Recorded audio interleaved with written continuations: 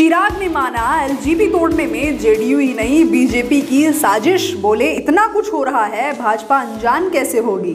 नमस्कार, बोलता हिंदुस्तान में आपका एक बार फिर से स्वागत है। बिहार की लोक जनशक्ति पार्टी की कमान संभालने को लेकर पार्टी नेता चिराग पासवान और पशुपति कुमार पारस के बीच सियासी घमासान जारी है। इस कड़ी में चाचा पशुपति कुमार पारस को अपना दमखम दिखाने के लिए चिराग पासवान ने दिल्ली में लोजप्पा की राष्ट्रीय कार्यकारिणी की बैठक के ज़रिए शक्ति प्रदर्शन किया है। चिराग पासवान पहले से ही लोक जनशक्ति पार्टी में टूट के लिए मुख्यमंत्री नीतीश कुमार को जिम्मेदार ठहराते आए हैं।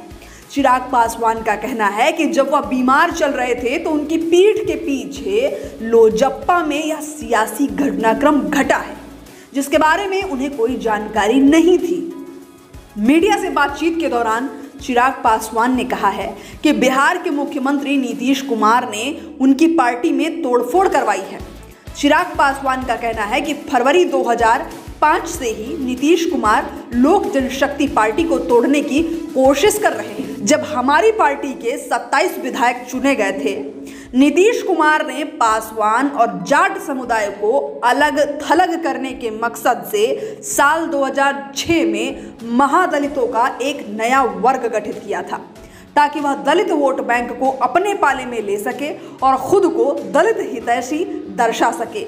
इस बात को सभी यह जानते हैं कि उन्होंने जदयू में मौजूद दलित नेताओं के साथ किस तरह का बर्ताव किया है। यहाँ तक कि उन्होंने जीतन राम मांझी को सत्ता से ही बेदखल कर दिया था।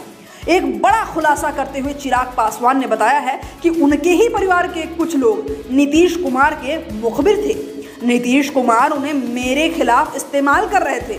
चिराग पासवान ने भाजपा के साथ भविष्य में लोजप्पा के राजनीतिक संबंधों पर कहा है कि बीते हफ़्ते उनकी पार्टी में जो भी सियासी घटनाएँ घटी हैं, उसके बारे में भाजपा के शीर्ष नेतृत्व को नहीं पता। यह विश्वास करना थोड़ा मुश्किल ज़रूर होगा।